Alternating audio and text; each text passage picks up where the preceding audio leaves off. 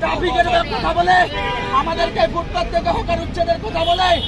আমরা কিন্তু ফুটপাতে পথচারীর জায়গা রাখতে আমরা ফুটপাতে দোকানদারি করি। আমাদেরকে যদি ফুটপাতে ব্যবসা করার সুযোগ না দেয়, তাহলে কিন্তু আমরা এই সাধারণ হকার, হকাররা যেই পর্যন্ত আমাদেরকে বসতে না দিবে, ওই পর্যন্ত আমাদের আন্দোলন চলবে। চুল পরিমাণ বন্ধ আমার রাজপথ থাকে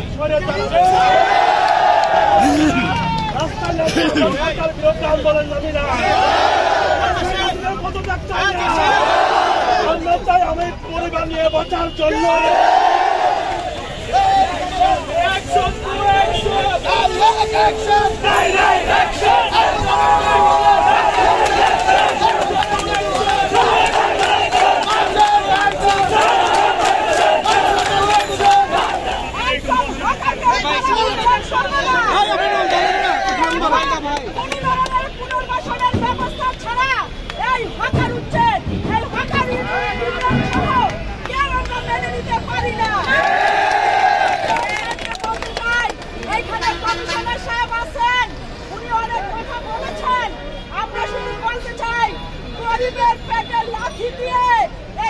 দেশ চালাইতে পারবেন না। আপনারা সবচেয়ে বেশি ট্যাক্স আপনাদেরকে দেয়।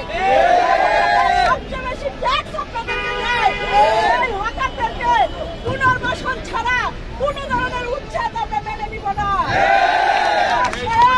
এবং প্রধানমন্ত্রীকে আমরা বলতে চাই প্রধানমন্ত্রী আপনি কথা দিয়েছিলেন সব কথা দিয়েছিল।